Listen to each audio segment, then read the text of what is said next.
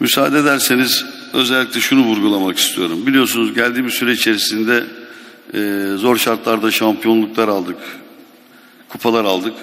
Ama bir pandemi vardı. Çok değişik bir süreçti. Yönetilmesi gerçekten tecrübeli hiç kimsenin olmadığı bir süreçti. Şimdi pandeminin etkisinin kulübe maliyeti 30 milyon euro olmuştur.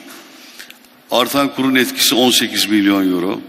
Devletimizin arttırdığı ekstra vergi yükü 25 milyon olmuştur. Ayrıca biliyorsunuz kadro dışı futbolcularımız vardı. Maalesef randıman alamadık. Hocalarımızın hiçbirinin ne yazık ki 4-5 tane hocamızın da hiçbirinden hani desek ki birinin tavrı farklı, biri birini beğenmedi, kaşın üstünde gözüm var dedi. Böyle bir durum yoktu. 4, 4 sene, 3,5 sene boyunca e, kadro dışı futbolculardan 31 milyon euro ve en önemlisi sevgili Beşiktaşlar yayın haklarımız 4 yıl içerisinde 3,5 yıl içerisinde 40 milyon euro aşağı gelmiştir. Yani baktığınızda 144 milyon euro bizim elimizde olmayan nedenlerle e, kulübümüzün kasasına maalesef gelememiştir.